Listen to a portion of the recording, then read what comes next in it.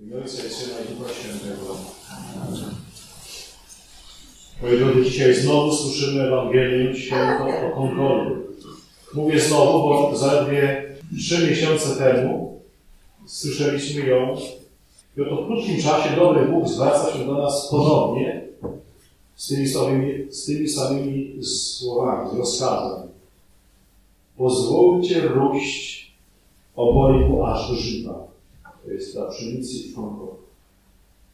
I to być może jest dla nas, moi drodzy, wskazówka na najbliższe miesiące i na ten rok.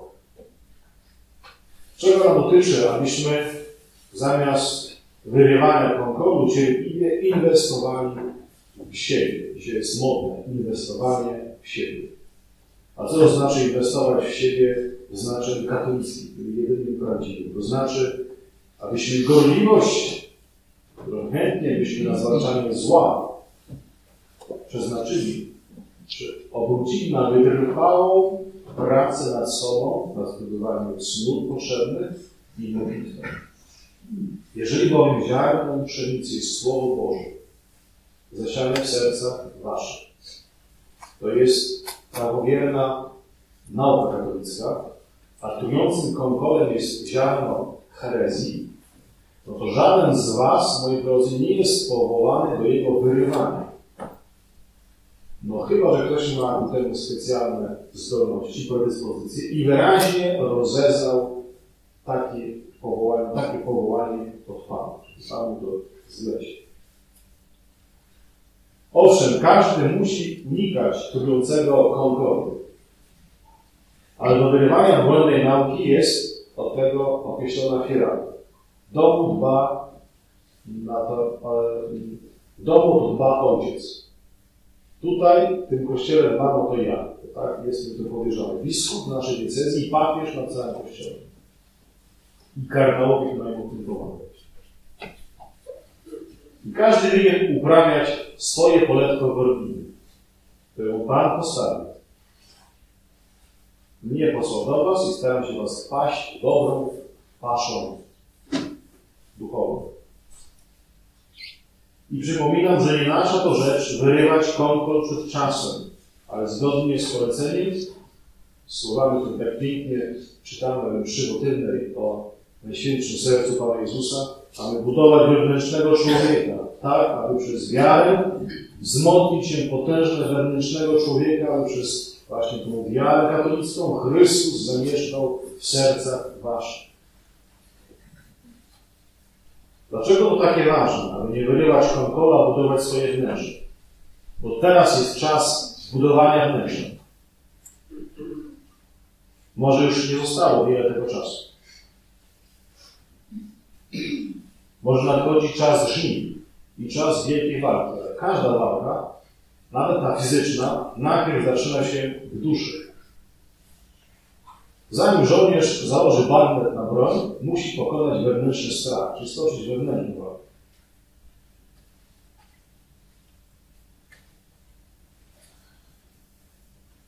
Jeśli nie przygotujesz się wewnętrznie, to kiedy przyjdzie czas walki zewnętrznej, nie ostoisz się, jeśli nie wzmocnisz swego ducha. Popatrzmy na scenę Getsemani. Dlaczego apostołowie zawiedli, gdy przyszła banda z kijami pojmać mistrza? Dlaczego uciekli? Otóż dlatego, że Pan trzykrotnie przychodził do nich i prosi, czuwajcie i módlcie się. A oni przespali czas przygotowania. Mistrz walczył, gotował się na bój krwawy, potem się pocił, a oni spali mimo napominania. I kiedy przyszli po niego, kiedy stężało zło i się skumulowało, tylko Piotr zareagował, ale cóż to jest? Zaledwie obciął ucho Malkusowi. A gdzie reszta? Mieli przecież dwa miecze. Gdzie ten drugi? Dlaczego nie walczyli w jego obronie? Pan miał w gotowości dwa zastępy chówców anielskich na jego skinienie. Ale ci, o których tutaj powinien tego oczekiwać słuszne do tego prawo, zawiedli. Dlaczego Piotr tchórzy i reszta? Odwagi starczyło zaledwie na wyciągnięcie miecza. Zabrakło mu odwagi, męstwa, siły, no przecież co, sam na tylu, a to to historia nie daje takich przykładów, pełno jest takich bohaterów. Owszem, Pan kazał schować miecz, ale czyż nieraz musi się tak słabą obroną siebie? Bóg we wszechmocy swojej i tak wiedział, co się stanie. Tak samo jak przyjechał, co zrobi Judasz, a mimo to miał go przed swoich apostołów. Ale niczym to nie usprawiedliwia apostołów, że nie stanęli w jego obronie wtedy, kiedy powinni. A zamiast szykować się do boju, spali. Śpicie jeszcze, jak poczywacie, a oto nadeszła godzina i Syn Człowieczy będzie wydany w ręce grzeszników. Takimi oto słowami zwróci się z wyżuchem Mistrz i Pan nasz do swoich apostołów. I uczmy się na ich doświadczeniu, bo czyż wcześniej Piotr nie zaklinał się, mówiąc, choćby mi przyszło umrzeć z Tobą, nie wybrę się Ciebie. I inni to samo przyrzekali.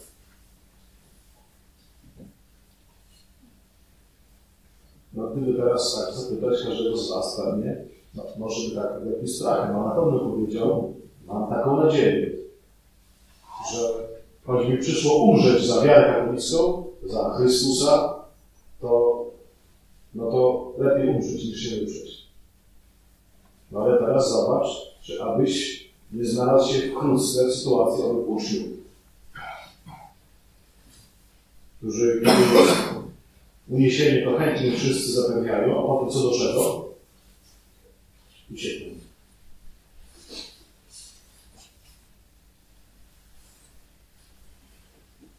Z nami może być to samo, jeżeli prześpimy czas gotowania się.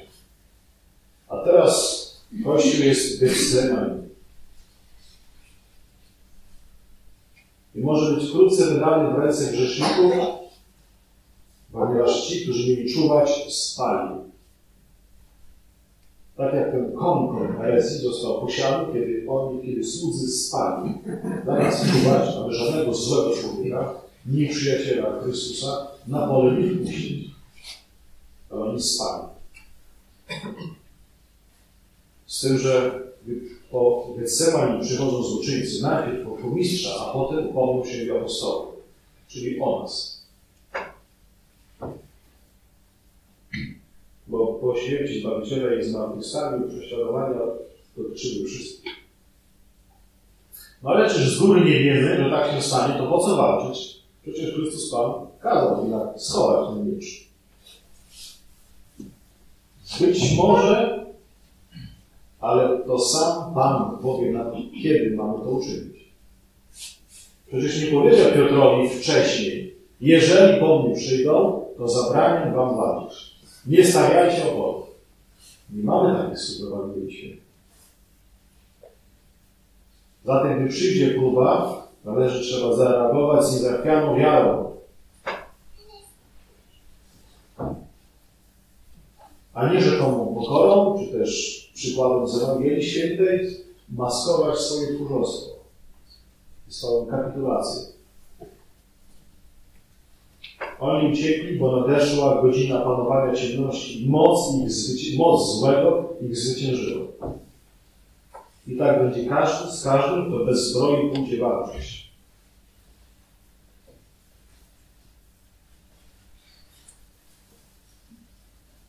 Uczmy się na ich przykładzie. Ponieważ oni wtedy nie wiedzieli do przodu, co się wydarzy. A my już jesteśmy po Chrzcie Świętym Większość z was jest wierzłowana, a więc uzdolniona do walki. Kiedy królowi Klodigowi opowiadano tą scenę, Klodwig to jest ten, który, przez który rozpoczął chrzest Franków, czyli dzisiejszych Francuzów. Tak. To zgrzytał zębami mówiąc, och, gdybym tam był z moimi Frankami, to by się inaczej historia położyła. I nie wiadomo, kiedy może przyjść znowu pora, tak jak wzywał święty Bernard z Clairvaux. Przed rozpoczęciem drugiej krucjaty już czas wyciągnąć miecz który Chrystus Pan kazał schować świętemu Piotrowi Gesem. Teraz ten czas wydaje się, że jeszcze nie nadszedł, ale nikt nie zagwarantuje, że nie nadejdzie. Dlatego jest czas ćwiczenia. Tak jak się ćwiczy mięśnie na siłowni albo w innych ćwiczeniach, tak samo ćwiczenia duchowe. Czyż swojego najlepszego dzieła święty Ignacy z Loyoli nie zatytułował właśnie Exercitationes Spirituales, ćwiczenia duchowe.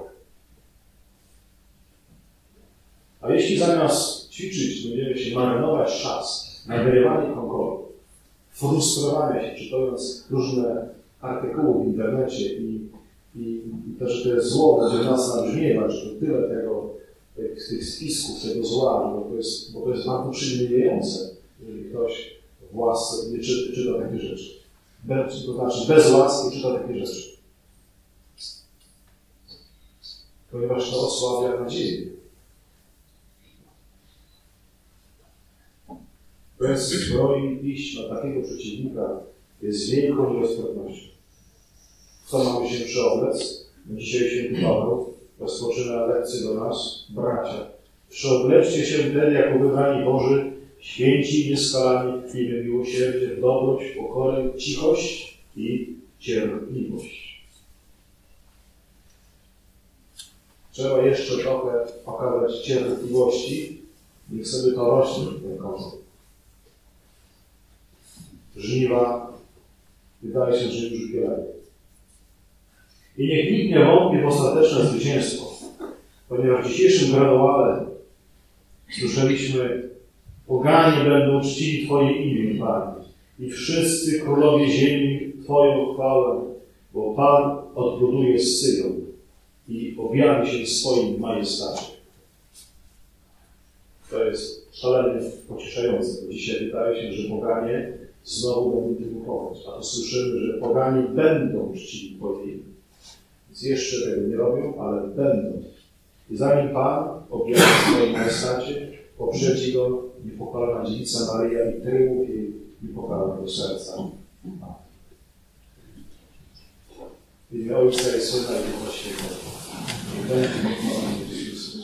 Niech